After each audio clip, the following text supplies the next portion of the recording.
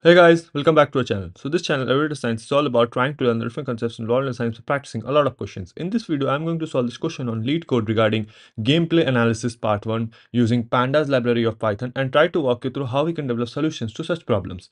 The difficulty level of this question is easy and this question has been asked in Adobe, Bloomberg, Amazon and GSN Games interviews. Okay. Also, if you are new to this channel, I have solved close to 200 easy, medium and hard difficulty questions using SQL. The link of the entire playlist will be in the description box below. And even if you do not have LeetCode premium subscription, do not worry. I'm going to share this panda schema in the description box below as well.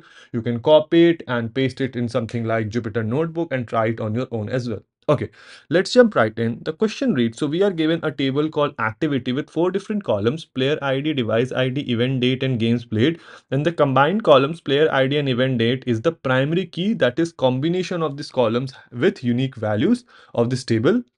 This table shows the activity of players of some games.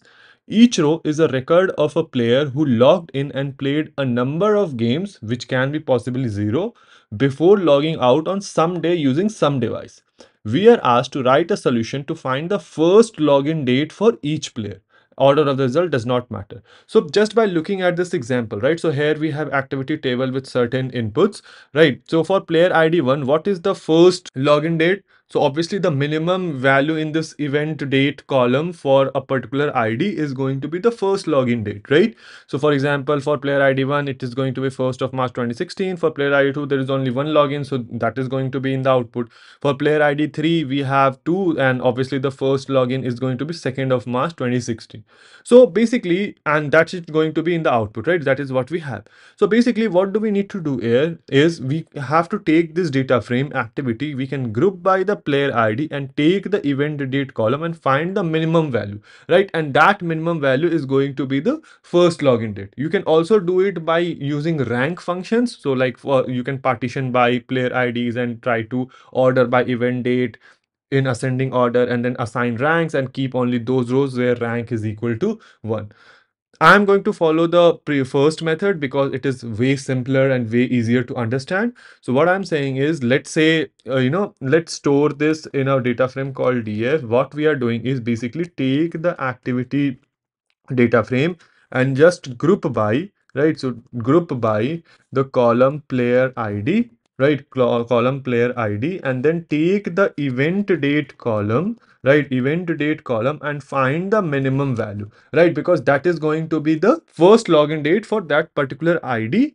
and since we have grouped by player id so that it appears as a column because we need that as a column in our output we need to write dot reset index right? And then let's return this data frame right? Let's return this data frame. Let me run this. Let's see what do we have here so even though it says wrong answer, but if we look at our output, right? So our output is exactly same as expected output. The only difference being the name of the column, right? And name of the column should be first login. So what we can go do, you can just go ahead and start renaming it. So rename, what do we want to rename? Columns. We want to change it from event date, right? Event date to the new name is first login, right? Okay, I think this looks good. Let me go ahead and run this. Let's see what do we have here. Okay, so this is accepted. Our output is exactly same as expected output. Let me go ahead and submit it so it passes all the test cases or not. So it is accepted and this is how we do it. So not a very difficult question. All we had to do was, you know, for every player ID, we grouped by the player ID and then took the event date column and found the minimum value because that is, you know, in line with what this question is asking first login date. And we reset the index so that player ID appears as a column in our output and we just rename the columns of event date to first login. So yeah, this is how we do it. Let me know if there is a better way or like how the solution will look like if you are going to use the partition and ranking.